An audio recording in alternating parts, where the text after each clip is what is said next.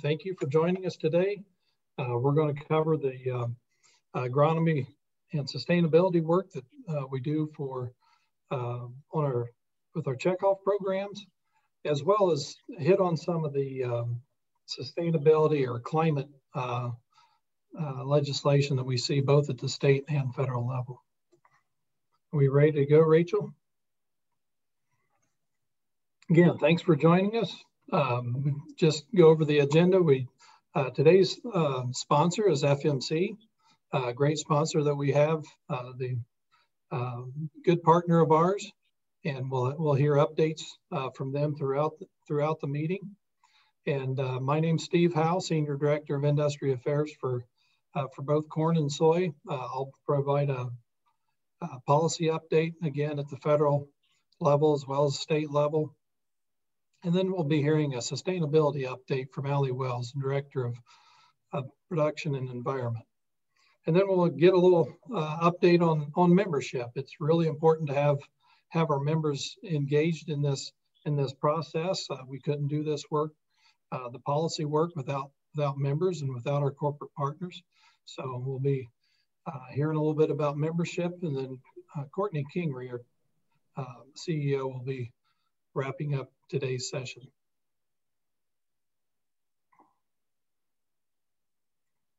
So just a little housekeeping. We do have the Q&A feature uh, open. Uh, so at the lower part of your screen, you can ask a question. We'll answer those as we as we receive them or um, as, as, we gather those, we'll try to address those questions. And then if, if it's a type of question that we really can't get to today, we'll certainly have staff uh, review that and get response back to you. And if you can't hear the computer audio, try switching to the phone audio and calling in. A lot of times that uh, the computer audio is not working, so feel free to, to join by phone as well as the computer. Again, uh, today's sponsor is FMC, a great, great partner of ours here. And we do have a sponsorship message uh, from FMC.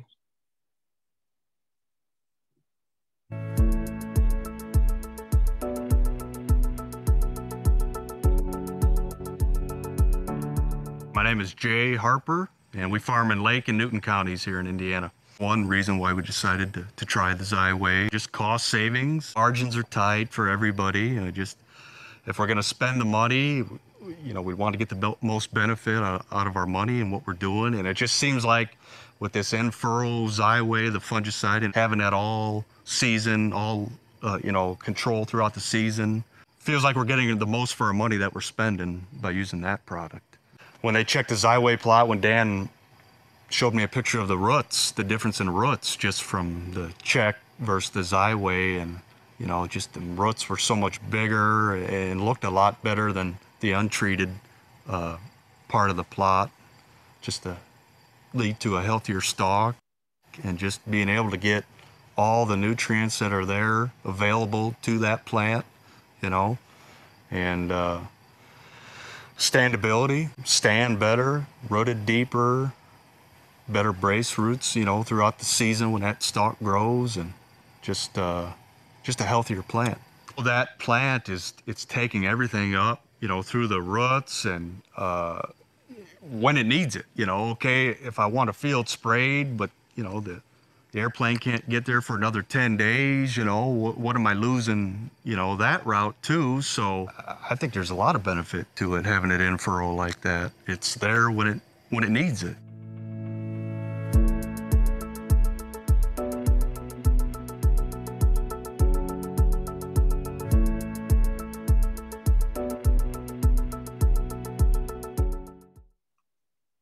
So I'll go over some of the, uh, the issues that we're covering uh, with our policy organizations, both the Indiana Soybean Alliance Membership and Policy Committee, as well as the Indiana Corn Growers Association. Just give you a little bit of update in the sustainability and carbon uh, work that or space that we're, we're seeing a lot of activity. And I think, uh, you know, it, um, the whole idea of the carbon, the carbon markets is really um, taken off here in the in the past um, couple years. Really, we haven't really seen a lot of work in that space. Uh, but with the change of the administration, and um, at the federal level and just more of a focus on climate. Uh, I think it's uh, prudent for us to get our arms around what all this means. And, um, and there, there has been efforts at the, at the state level to address um, uh, the carbon issue, as well as um, the U.S. Congress. As uh, many of you know, there was a Growing Climate Solutions Act uh, offered last year, as well as others uh, that we'll be see uh, we'll see develop over the next few months. And then what uh, what space does or what role does USDA play in all this? Do, can they adjust programs, develop their own programs with their current authority to um, to provide some some climate programs offered through their agency. And then we'll just touch on a little bit of the on what we see in the uh, private uh, projects, the companies that are getting involved in this, this effort. Well, this year in the Indiana General Assembly, we saw the introduction of um, Senate Bill 373 by Senator Sue Glick. Um, this is a is really a, a, kind of a broad-reaching uh, bill uh, that would provide um, the Indiana State Forest, uh, which are managed through the uh, Benjamin Harrison Trust, or the state forest managed by the um, Department of Natural Resources. Um, the proposal would, would actually offer a, a way that uh, DNR could take those acres that are in the state forest and uh, receive some type of carbon credit uh, for the carbon that's captured in those uh, in those acres of state forest. And would also uh, the bill would also enable the State Department of Agriculture to develop a, uh, some type of program uh, for cropland. And the bill, when it was heard in committee last last month, it did receive widespread support. Many stakeholder groups testified in support of that. Um, both corn and soybean did testify in support of that concept. And, um, but as the conversations um, moved along surrounding this bill, there was a lot of concern about, or is the, uh, are either the agencies uh, equipped and prepared to, to administer the, the programs as presented in the, this bill. And it was determined that a lot of, a lot more work was, was needed. And um, there could be uh, an amendment uh, to the bill uh, to um, send this topic to a, a, working group. Now that working group, we certainly want uh, agriculture around the table. We want the technical experts. Uh, we don't know exactly what that would look like yet, uh, but rest assured that we'll be engaged at some level in that working group to make sure that the farmers' concerns are heard. And it's really about what what's the proper role for state government to play in this space? Um, you know, it's, you know, we really don't need the um, state government um, providing that market uh, for for carbon, uh, but can they be a clearinghouse? Can you know just what role can they are they best suited to provide? Because frankly, if there's a market, you know, farmers will go find that. The market providers will find find the farmers if if there's a true market that exists. Uh, but what what's the best role that uh, state government can play uh, in the carbon credit programs? And last year, the, as I mentioned, the Growing Climate Solutions Act was introduced by Senator Braun and Senator Stabenow. And it did receive a, a, committee hearing, which is a good sign. If a, if a bill does receive a committee hearing, that suggests that there's a lot of interest in seeing that that concept move forward. And we fully expect that um, it'll be reintroduced this year, both in the Senate and, and the House. Uh, there was a companion bill in the House last last year. We fully expect that uh, to happen again this year, particularly given uh, the interest in uh, addressing uh, carbon issues. Uh, the purpose of the bill would create a technical assistance program for voluntary carbon credit markets. And I think the key there is voluntary. Uh, we, we support this effort, but it's got to be a voluntary program. Uh, create a certification program to help technical uh, help with technical barriers to entry and provide reliable information about carbon markets and provide access to qualified technical assistance providers and credit um, protocol uh, verifiers. And kind of kind of the backstory on um, on this, and I'd welcome uh, Courtney, Allie, or Rachel to, to chime in. Uh, but we're we want to make sure that whatever uh, programs are out there actually um, that the farmers get paid for the results, not so much the um, the processes or the the tactics, uh, but we want to have measurable results that whatever you're doing on your land is actually um, capturing carbon and and uh, and that's measurable and that's that can be verified. Um, so what what this bill would would help do is just provide that technical assistance to the to the farmers uh, so they can participate in a carbon carbon market. It's not establishing a carbon market. It's just providing that um, technical assistance. So any thoughts, Courtney or Rachel? Yeah, Steve, thank you. Um, it's really about because there are so many different practices and so many different ways that farmers across a variety of crops grow their crops that we're not looking to legislate which practices necessarily or the process by which the carbon is captured, but a way uh, to really enable the outcomes and focus on the outcomes of that. So that's easy to say, but um, tough to do uh, in some of these ways. So it's really about working on those technical barriers, reducing those technical barriers, and creating common language and common technicalities by which the carbon markets are all trading. Um, I like to use the analogy of, um, you know, you guys grow and trade number one yellow soybeans or number two yellow corn don't necessarily dictate how you grow them. And that's how I could potentially see the carbon markets getting that um, really become outcome, output focused, but we're just not quite there yet. So it's, it's going to be a process.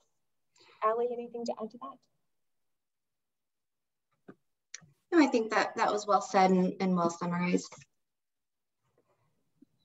I think it's also important to note that the the certifications for the technical assistance providers are intended to create a level of certainty and reliability. So when a farmer is exploring getting into carbon credit, carbon sequestration and carbon credit, credit production uh, and selling, they can find a technical assistance provider and very simply say, are you USDA certified?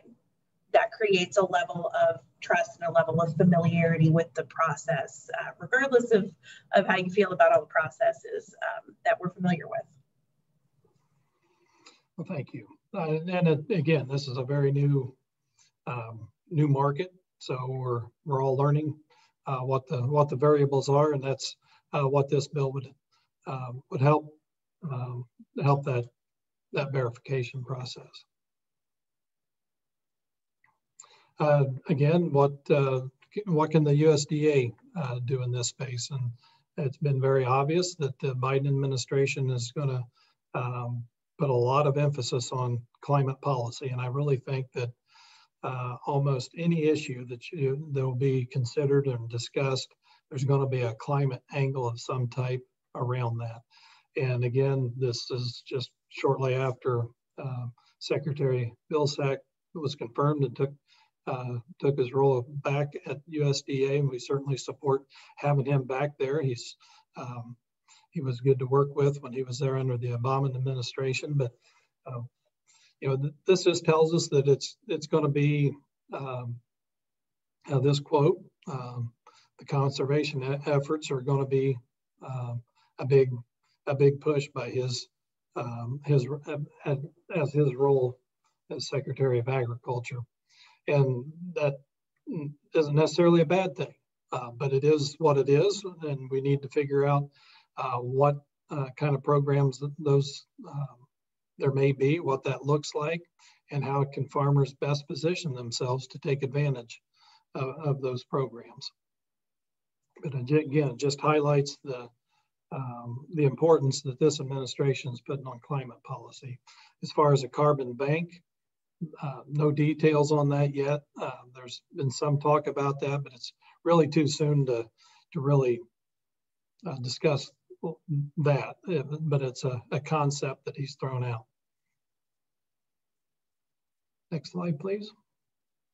And again, we just want to mention there are private pro uh, projects out there. There's a company called Indigo that does have some Indiana farmers uh, enrolled in their programs. There's uh, some of those pilot projects. There's not a great number of those out there yet, or not a great number of farmers participating. Um, but uh, again, as, as uh, from both the policy uh, work that we do, as well as the checkoff work, we want to uh, just understand what um, what companies are out there doing what, and uh, just to be aware of um, of their efforts. And I know there's some good companies that are wanting to get involved in this uh, these efforts, and we're, we're going to continue to watch those. And they're a, a nonprofit group, the Ecosystem Services Market Consortium. Um, the American Soybean Association is a part of that group, and that's um, uh, again just want to raise the awareness uh, that uh, the, the private groups are out there as well.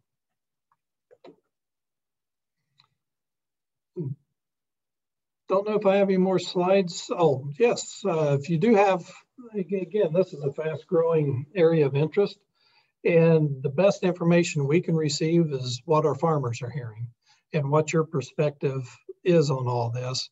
Um, again, um, you know, we there's a there's a lot about this we don't know. Uh, but the best information we can receive is from our farmers and what and our members and what what they're hearing, and that'll help us develop either checkoff programs to to meet those those needs, or perhaps there's uh, policy efforts that we need to pursue um, with the the interest of the farmer in mind. So we we do need to hear uh, kind of what you're hearing, what your thoughts are. Well, how does your farm uh, fit into to this? What do you need on your farm? uh, to either participate in a in, in, a market or what what kind of information do you need uh, to help you meet your sustainability goals and uh, participate potentially in a in a credit uh, carbon credit market. So feel free to reach out to me at, at any time to uh, let me know what you're hearing in this space. That wraps up my portion of this. We've got a message from fmc again. Uh, so we'll hear from fmc again the the sponsor of today's event. And um, then we'll bring on Allie for her checkoff update.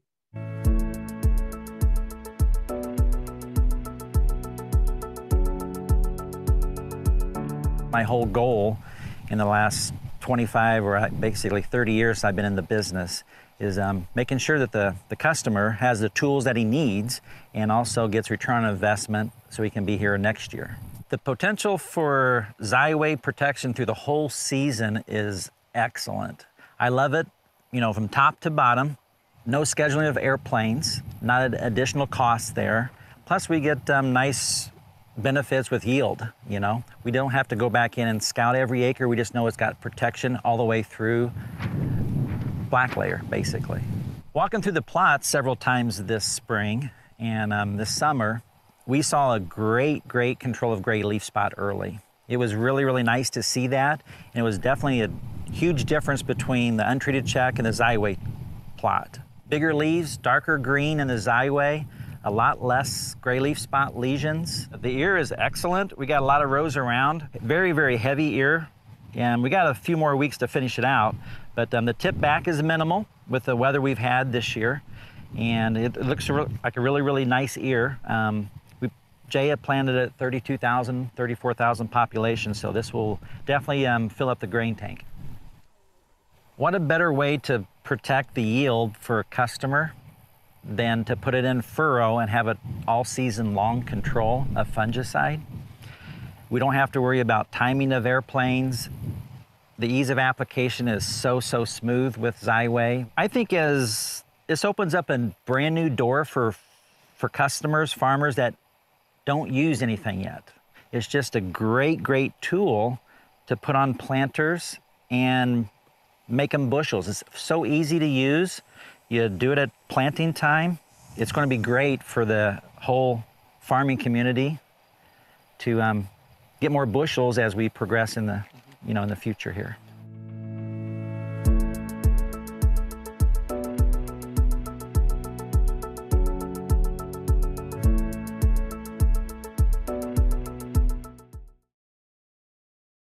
As we're we're having this conversation around um, around climate resiliency and um, different companies and and policy leaders are, are talking about carbon and other and other practices being um, kind of a, a, solution to to those uh, growing issues. I wanted to give an update on what uh, we're doing with farmers corn and soybean checkoff dollars uh, to help increase resiliency on and off the farm um, and, and invest in, in this conversation around uh, climate resiliency. So first, um, I thought it would be helpful to give an overview of, of what the checkoffs are, are working on as a whole, kind of big picture. Um, one of the, the top focus areas for both organizations is continues to be market development. So working to accelerate and maintain demand for corn and soybean um, and their value added products. The second area um, is this area of sustainability, and both organizations have um, agreed around this definition where sustainability has to be a three-legged stool that includes environmental, community, and economic components. Also focusing on value creation, so increasing the value of corn and soybeans by finding new markets and new uses uh, for, for the corn and soybeans. And then producer engagement, um, engaging more with farmers to, to share uh, the return on these investments and, and offer programs and resources um, to help farmers succeed. And so for this presentation, I'll, I'll focus on um, the sustainability aspect, but all of these are, are really closely integrated when we when we talk about um, this, this topic and, and growing conversations around climate resiliency for agriculture. So for sustainability, we've got three objectives that, that we're working on. One is to continue increasing the number of acres in Indiana utilizing environmentally and economically sustainable production practices. Also supporting efforts that reduce production and input costs and improve on-farm profitability and then increasing community awareness around agriculture and its economic value to the community. So very intentionally focusing on offering programs and resources that fall within each of those three legs to this, this sustainability stool. And so I, I wanna go into details on, on some of these programs, but think that it's helpful um, to also give some context through organizations that we're involved with and conversations um, that we're staying very closely aligned with throughout the, the entire corn and soybean value chain. And some of these conversations are originating through a group called Field to Market. It's an alliance for sustainable agriculture that convenes members um, that include grower organizations, agribusiness, brands and retail, um, civil society, which would include um, like a, an NGO like the Nature Conservancy or Environmental Defense Fund, and then also affiliate members um, who include universities and departments of agriculture, um, uh, USDA NRCS, for example. Um, got a screenshot here showing you there are hundreds of members all the way through, through the value chain, um, including some, some big names there, of course, like McDonald's, Kellogg's, Targets. You also see your grower organizations, um, state and national um, input providers. I mean, really, there's the whole spectrum. And what these groups are doing are having these conversations around what makes sense as we're as we're hearing from consumers. Um, what really makes sense in, in measuring the impacts of the different inputs on our value chain. So, for example, um, we're probably noticing a lot from, from a lot of these brands um, rhetoric around uh, responsible sourcing, nurturing our planet, regenerative agriculture is, is a big phrase. Um, and of course, just the term sustainability. And these are um, both direct to consumer products that use corn and soybean um, ingredients uh, like vegetable oil, corn syrup, also um, really growing in importance for the meat industry, um, which is uh, corn and soybeans number one customer would be livestock feed. and then there are also conversations um, around fuel and, and producing a low car carbon fuel and, and how um, that could be one solution to these conversations around climate. And so what, what we're learning through these um, collaborative discussions and research uh, facilitated by Field to Market is that consumers are, are changing their tastes both globally and domestically um, and consider sustainability as a really important factor in their buying decisions. For example, more than eight in 10 global consumers feel that companies should implement programs that implement the environment. When you look at, at groups of consumers, millennials, who um, it's time to get get out of your head that millennials are the the entitled college age kids. We are now um, parents and making purchasing decisions for, for families. So think about your 23 to 38 year old consumers. Um, research is showing that, that that group is voting with their wallets. Um, as high as nine out of 10 millennials are willing to pay for more environmentally friendly products. And then the generation directly below that, Gen Z, is increasingly becoming the most conscious consumer, with nearly three fourths identifying that doing their part to make the world a better place um, directly directs their, uh, their buying behavior. And so also when you think of the global perspective, we've got the, the middle class is growing 50 to 70% in the middle class.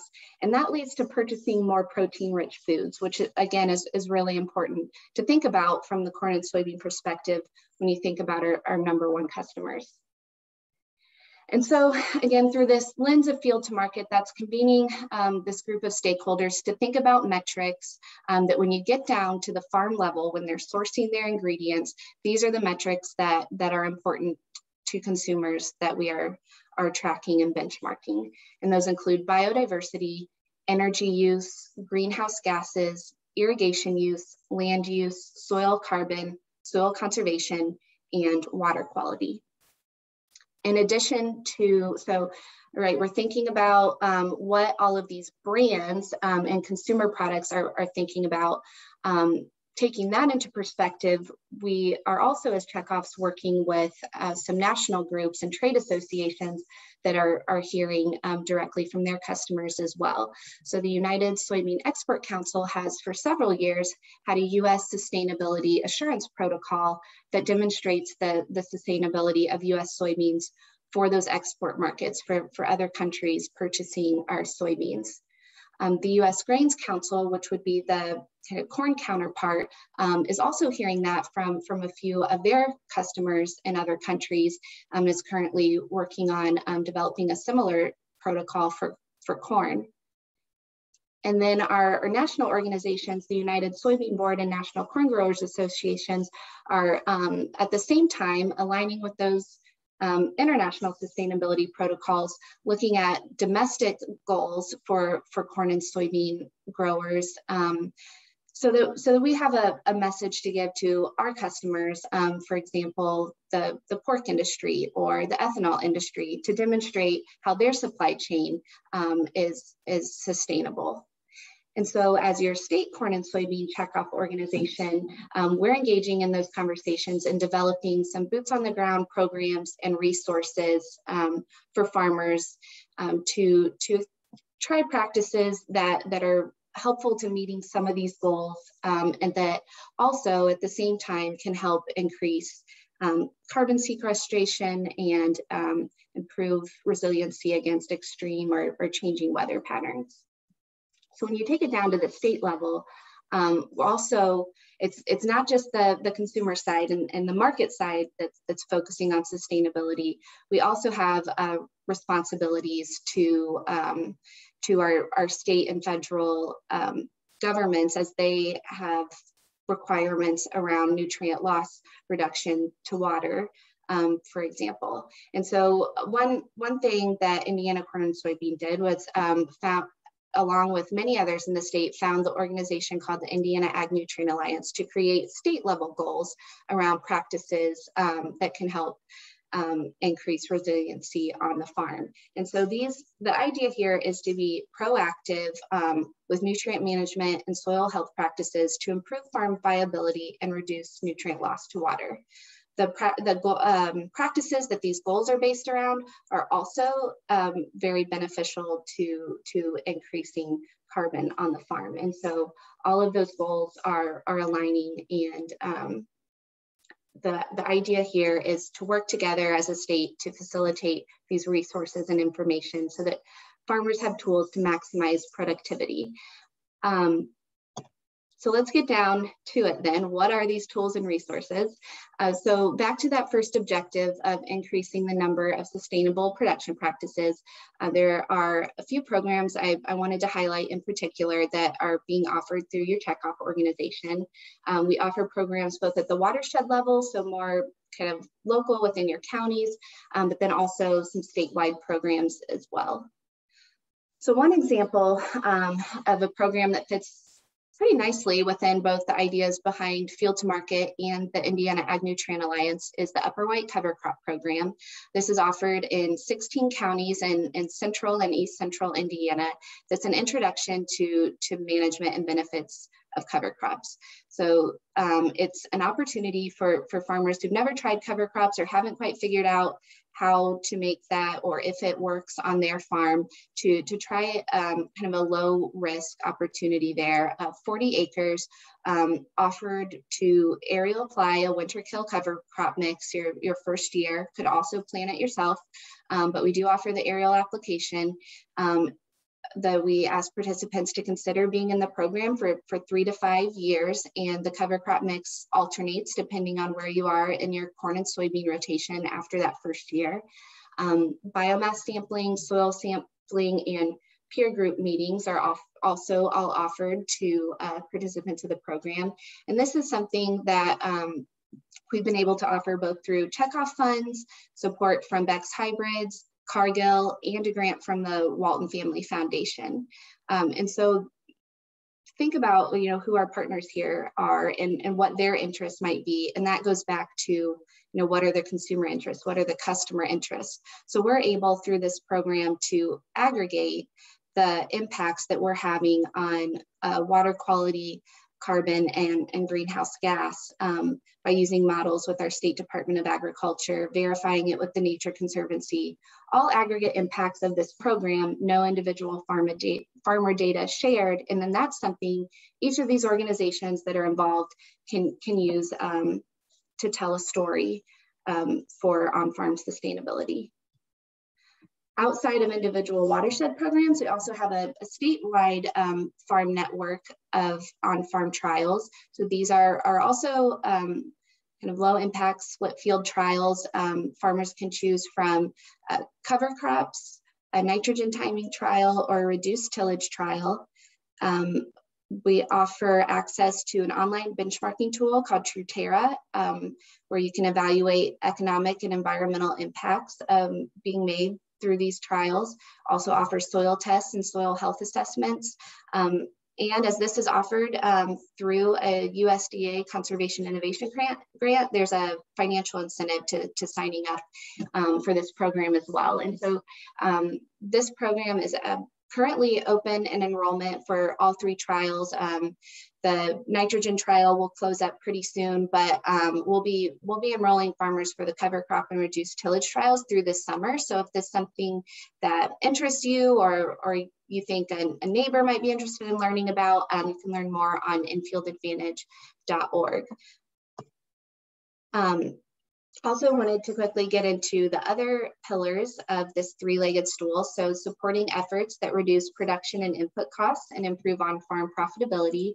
Um, the largest investments that you'll see there currently will be in university research, um, focusing the mission on um, investing in practices or breeding technology that um, have both environmental and economic benefits for farmers both checkoff organizations have invested in the Corn and Soybean Innovation Center at Purdue. So this is a, a phenotyping center that um, encourages kind of cross-sector collaboration and, and innovation um, around growing crops, um, um addressing um, concerns with extreme weather patterns um, such as such as drought or, or too much rain and so in addition to investing in the actual establishment of this, this center, um, there are also research endowments, corn and soybean research endowments to ensure that research is being done specifically um, for those uh, crops. And then also um, working with other partners such as AgriNovus to, um, to fund other inno innovative ideas such as through the Ag Tech Innovation Challenge, um, staying current um, with, with the activity going on with the ecosystem, uh, ecosystem service markets and, um, you know, as Steve said, listening and talking with farmers to, to determine what resources would be most helpful to farmers as, as you're potentially being approached by those companies, um, just different you know, questions consider before entering those con contracts. And so those are all activities that, that are being funded through, through this um, economic um, leg of the stool. Additionally, um, invest in making sure there's support as you're trying out new, um, new practices. Um, don't want to just leave farmers hanging. And so um, encourage um, interaction with, with these two important groups and the Conservation Cropping Systems Initiative um, the, the farmers in, in this program have been doing many soil health practices for many, many years, um, cover crops, reduced tillage, some edge of field practices, and they have, um, they're willing to share um, kind of their financials and what they've learned, their, um, their, you know, things that they've tried, trial and error is the term I'm looking for there. And so they have webinars and, and workshops that um, that you can engage with and, and maybe find someone in, in your area um, to learn from. Um, also the Soil Health Partnership, which um, originated out of the National Corn Growers Association, has a network of 20 farms in Indiana that have been trying some of these practices for five years um, through replicated strip trials. And so um, they ha also have economic data um, and some trial and error stories to share. And so um, host field days and, and webinars and offer engagement with that network on soilhealthpartnership.org. And then I'll just close this out real quickly on this update. Um, would be remiss with, without mentioning the social component. Um, farmers are doing a lot in this space already that, that many people don't even know about, consumers, policy leaders, et cetera. And so making sure that, that we're, as we're you know, collecting this aggregate data, we're sharing it with the larger community. Um, and that's being done through avenues such as the Glass Barn at the State Fair, um, working with the Colts, the Children's Museum, Fair Oaks Farms, and then also um, on the ground outreach to local community leaders, um, just educating on, on what farmers are doing in this space and, and what are the impacts to your local community um, and, and globally. And so with that, I will close out my checkoff update on sustainability. Um, happy to answer any questions. Thank you.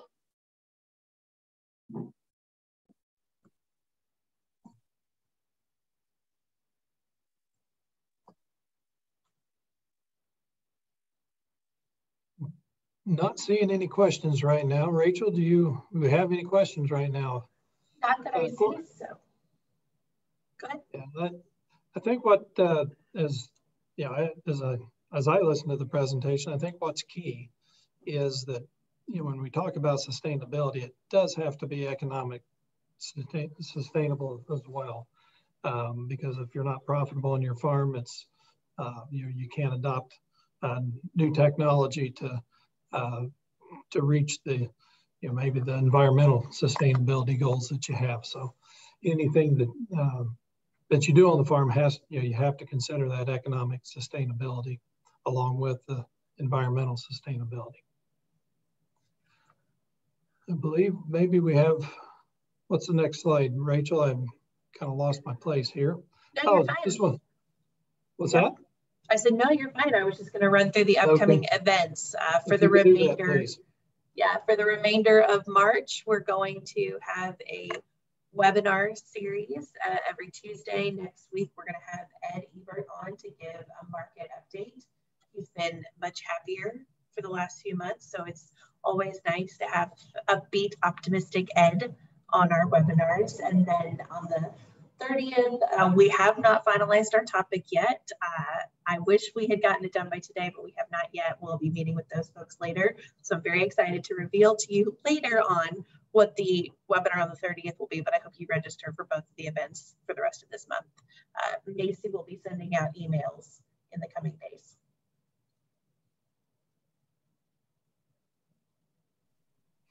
As I mentioned before, the you know the policy work that we do, we cannot do that uh, without your membership. Uh, it's very important for farmers to be uh, be members of both um, Indiana Corn Growers Association as well as the membership and policy uh, work that um, uh, Soybean Alliance does.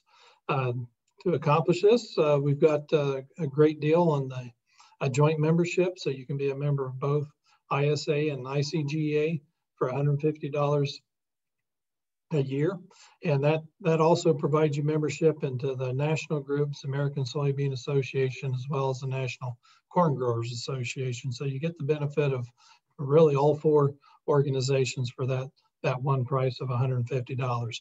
And again, you know, it's just a small investment uh, to make sure that the policy work is covered on your behalf, uh, to make sure that the farmers have a voice at the State House, as well as uh, in Washington.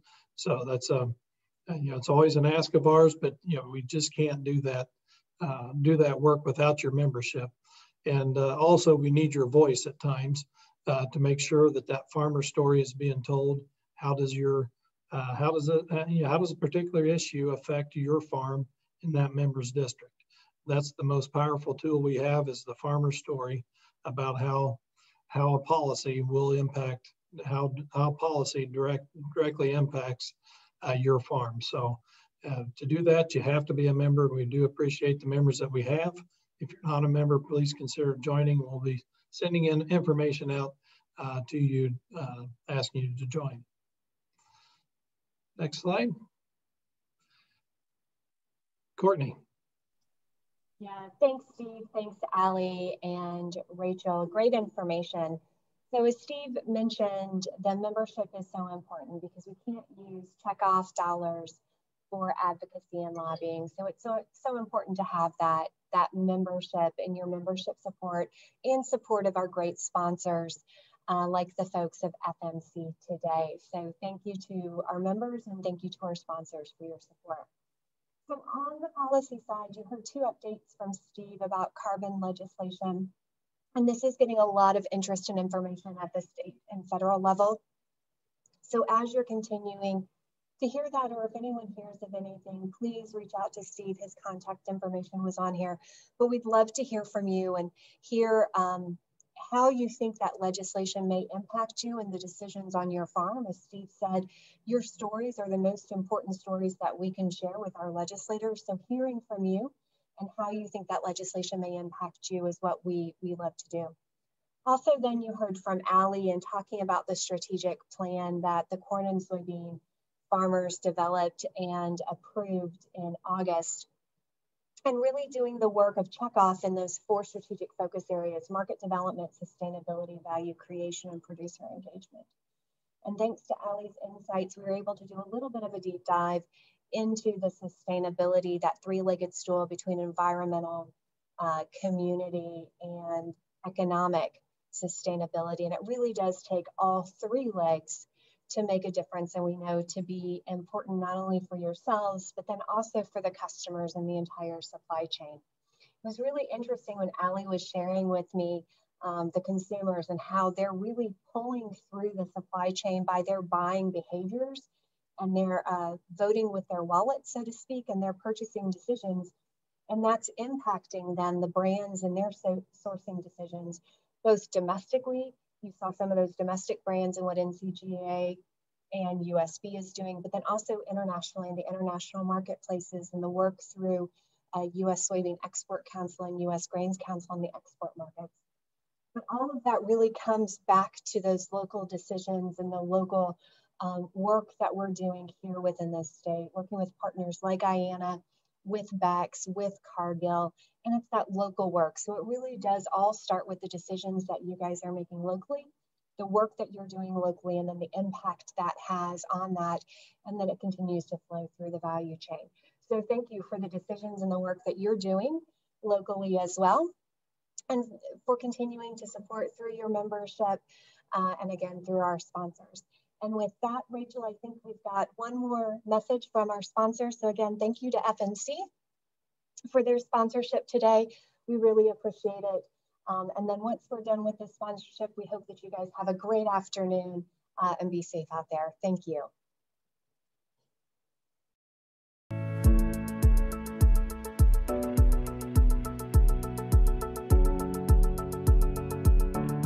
The thing that most interested us about Xyway was the ability to apply a season-long fungicide at planting. The biggest advantage to having a fungicide is it controls the diseases that we're concerned with. It gives you some plant health and ultimately that transpires into a higher yield at the end of the day. On the acres that we use Xyway this year, it's a very big relief to know that we don't have to make another fungicide application. It's already there and we don't have to go back and retreat. If you're interested in a product that you can put down in furrow at planting time and complete your fungicide application, then Xyway is the product for you. There's no need for additional custom fees and application or buying a big sprayer to get over corn at tassel. When you get through planting, you walk away from the field and your fungicide is there.